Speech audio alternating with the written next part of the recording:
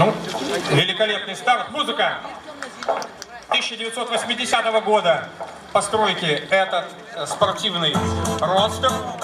105 лошадиных сил, мощность двигателя.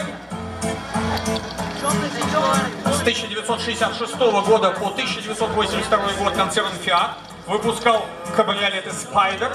Конечно, каждый кабриолет ныне сохранившийся является произведением искусства, по меньшей мере.